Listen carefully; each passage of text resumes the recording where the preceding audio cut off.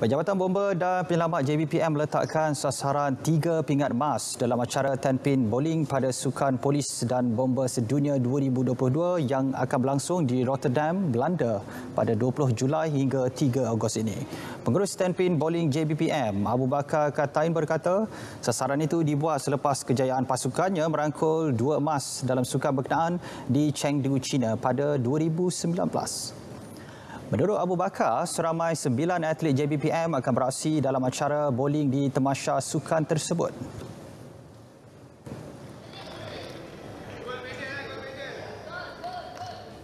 Kita target untuk bowling, eh. untuk bowling kita sasakan tiga pingat emas, insyaAllah. Tiga pingat emas.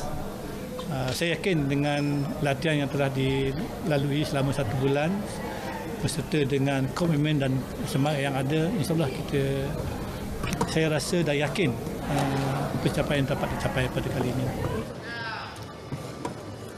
Beliau ditemui pada perhimpunan Dwi Tahunan JBPM Melaka di Bukit Katil. Pada perhimpunan itu, beliau turut menyerahkan sumbangan RM500 kepada tiga pegawai bomba Melaka yang bakal